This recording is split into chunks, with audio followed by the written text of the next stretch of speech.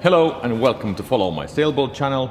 My name is Panu and I'm building this 15 meter liveaboard cruising sailboat here in Finland. This is a special episode. While waiting the installation to be completed, I decided to do this video for explaining the next phases for the project. This is a bit different approach than for run sailing for example, so let's jump to the 3D model and I'll explain what kind of phases I need to do before we start really the planking of the boat. And I can tell you, there is a lot to do. Also, I'm planning to refer to this video from the future episodes so that I don't need to explain everything again and again and again every time. Let's go inside my office and uh, look at the 3D model of the boat.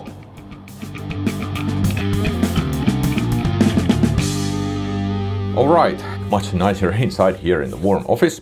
I have now chopped this uh, first stage of the build into four different projects, I would say. And now I'm gonna show them to you. And uh, the first stage has already, of course, been started and it is right here.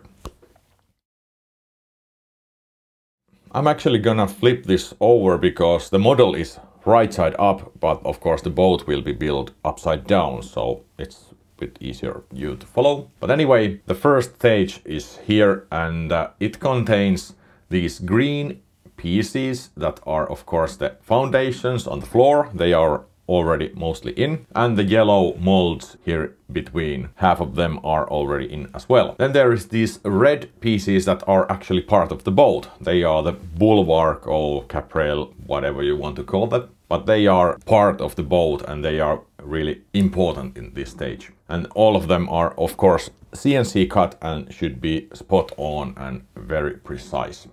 So if we move this model a little, you can see this is just a kind of flat surface right now. Then we can start adding some things there. Next, molds. Right here, they are molds for supporting the next phase and uh, they are CNC cut molds from plywood and uh, they kind of form this structure in here and on the front as well. And the reason I need these are the next pieces that are going in and they are these side walls. These are actually now the inside walls of the bulwark and they will be laminated from two layers of plywood all around the boat you can see here and they should fit right between this mold and this first piece right there and they should be quite straightforward they are bent in on their places but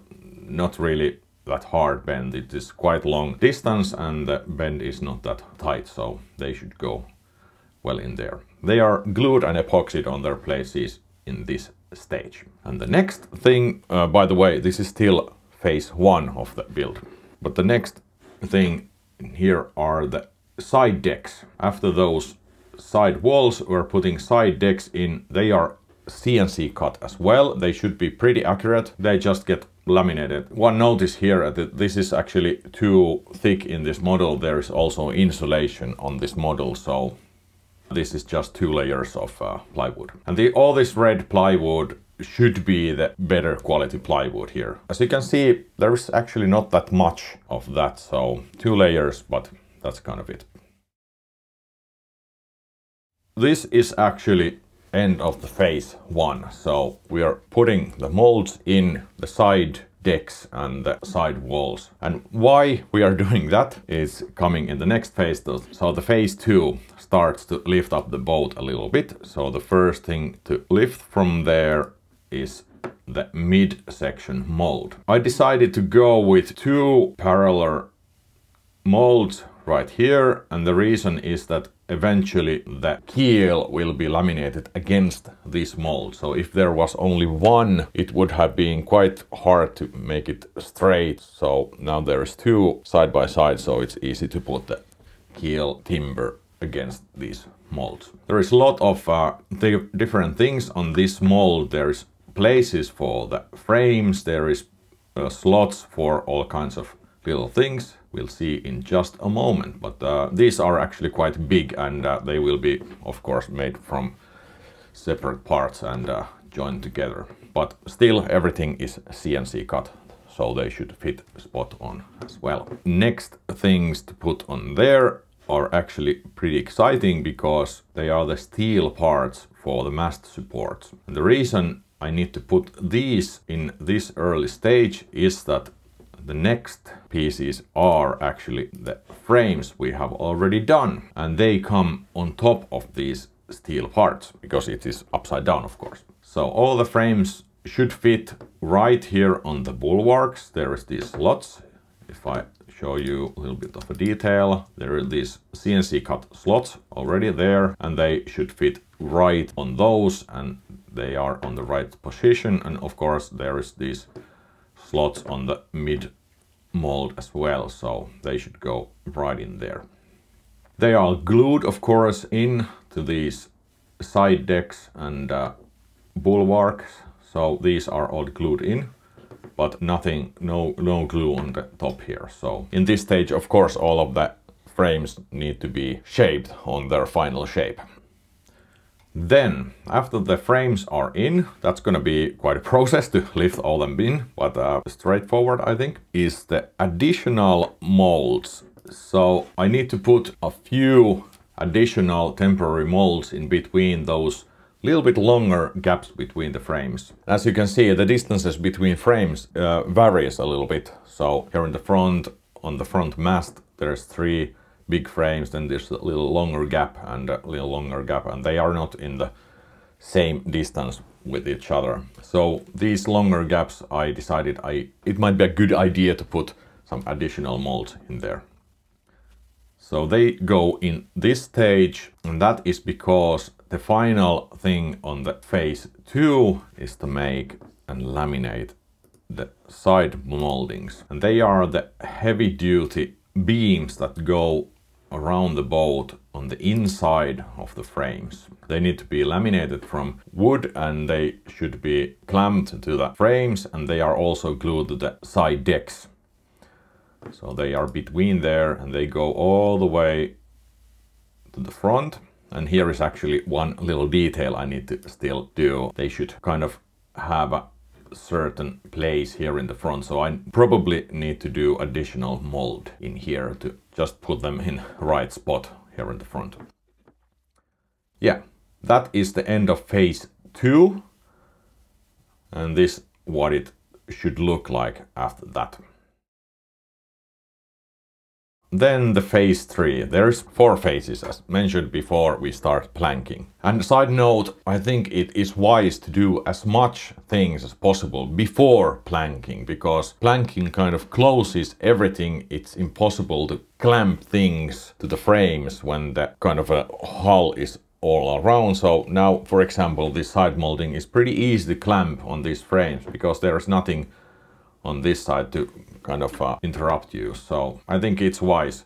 And uh, I actually thought earlier that should I put more things like floors and uh, maybe even kind of uh, some structures of the interior in this stage but eventually I decided that I want to have some kind of uh, freedom afterwards to kind of modify the plans if needed when I actually see the space. So there is no not really that much interior things going in but the, all the essential structures are. So yeah let's jump to the phase 3 and the first thing on phase 3 is to make some additional floor pieces inside here. So these are the purple pieces and they go around the mast mostly. This is the front mast is going to be on this frame, in middle of this frame. And now you can see why the steel parts needed to go before the frame, so it would be impossible to put the steel supports between there afterwards, because there's the mold, of course. So this is just basically packing of wood that is laminated and glued in. This is going to be a separate process, but uh, most likely these steel parts will be bolted through here with uh, long galvanized steel rods and bolts and nuts and they will be all inside and epoxied inside so no water should ever be able to go inside there. So that will be interesting, but uh, it should work, I think. Then there is a couple of additional floor pieces. This is just supporting one sole here in the middle. And then there's the middle mast, of course, same thing. A lot of packing and the steel pieces are going to be integrated here as well. And then there is additional pieces here in the stern. So uh, this area is where the rudder will be and I think I'm gonna put some kind of mold or some sort of structure here to actually mark the rudder post position in this stage as well. But the, all this structure will be supporting the rudder area. Pretty substantial wooden lamination there. This recess here is for the rudder quadrant, of course. So yeah, and the reason why I want to do all this before the planking, of course, is that it's so much easier to shape the bottom shape for the shape of the hull before the hull is actually there. So I can just put these on there and sand or whatever I'm gonna do, plane them on the shape with these frames. So these frames of course are in the perfect shape for the hull, so they should come pretty easily the right shape. And here in the middle is of course the slot for the keel. Now those are gonna be interesting thing to do. Then the next thing in this phase three is the stem. This is actually already been done, but in this stage it's going to be installed on the boat. There is a slot for it, there is a placement for it here in the front, so it should go right where it should be. And uh, yeah, if you want to see how I made this stem, there is a few videos up there, I think. And the final thing on the phase 3 is the keel. It is laminated substantial piece of wood and it should go and laminate it just here in the middle. There is slots on the frames for that. And yeah, it should be quite straightforward job, pretty big. But uh, anyway, I think we'll manage that just fine.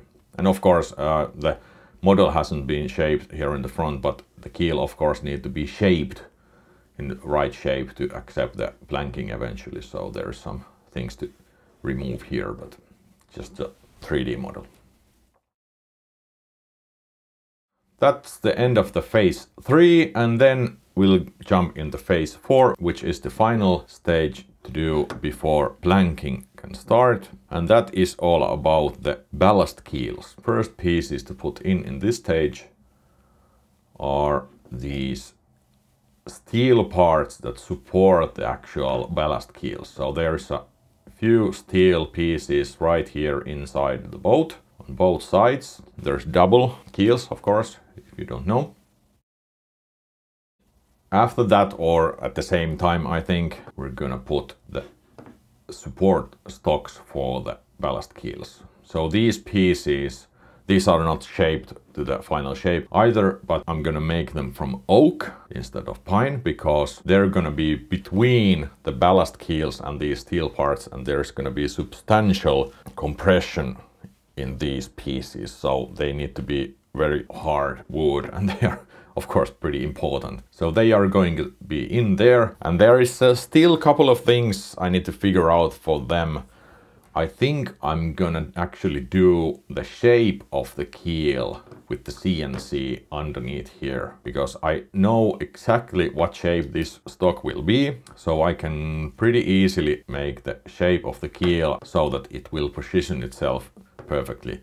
And we need to drill straight holes from these steel parts through eventually to hold the keel. So that's gonna be interesting, but I want to do this before planking because uh, actually most likely the foundation made from oak will actually extrude through the planking. So the planking will not be here between the, what would you call it?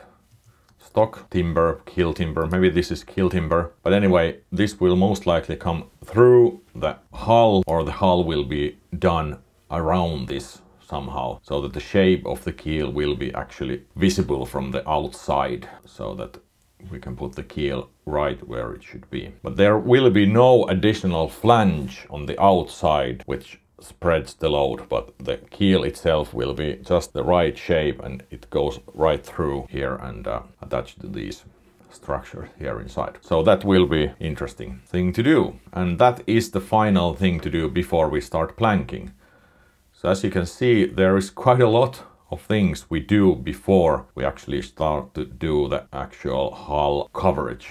And if I just modify the view a little, I get all the molds out like that. So this is actually all the pieces of the boat that will be installed into the boat before we start the planking. So as you can see, there's quite a lot. All of these pieces need to be there eventually. So as mentioned, I think it's very good idea to put as much as possible into the boat before we start planking. Because if you imagine you have the hull shape and you try to fit all this inside the hull after it's done, it can be quite hard and quite manual job, even if the things are CNC cut. So that's the idea here, to have a good access to all of these and put them on their places. There's a few details though that I haven't yet figured out. One quite important one is the placement for cleats. So of course the boat needs to have good and strong places for doing the mooring lines all over. So for example here in the front we have the front deck here, there's the high bulwark and most probably I'm gonna put the cleats on top here instead of going in the middle. The chain for the anchor will be go over this deck here there. It's gonna be placed in the middle of the boat, the uh, anchor chain locker. So most likely I won't be doing holes here and put the cleat inside here. Instead, many of the boats, uh, for example Moody, which have the similar bulwark idea, they have the cleats on top here. And for those I need to prepare some kind of very strong foundation. This two layers of plywood here is not gonna be enough probably. So I'm probably gonna pack this area up quite heavily to make a long bolts or rods or whatever to actually attach the clamps, uh, oh, sorry, the cleats in here. And of course, uh, if you think about it little, uh, when I'm gonna plank this boat from the outside here, there is nothing really in this area to put the planks or the strips to. So I need to make some kind of structures here to be able to plank the boat uh, on the top here. Here in the front where the stem starts, it's much easier, of course. You can put it right on there. So, but the top area, I need to put something in there. And of course, the same cleat thing is should be done here in the middle and on the stern as well. So at least three cleat places, possibly more. Maybe there should be actually two pairs of cleats here in the middle, I don't know. That's kind of the process, four stages. And uh, it's gonna be quite interesting. This is very different method for anything I have seen, but uh, this kind of has been my process of thinking how it should be as efficient as possible. So this is a little bit short video, but I think it's interesting and I'm gonna refer to this video from the future episode so I'm gonna put these section markings on this video. Thank you so much for watching and uh, we'll see you in the next video where hopefully we get to do some boat work again. I'm not gonna film the installation process, it's just so annoying, it's gonna take some time still but it's going forward and that's good. And uh, we'll see you in the next video. Bye bye!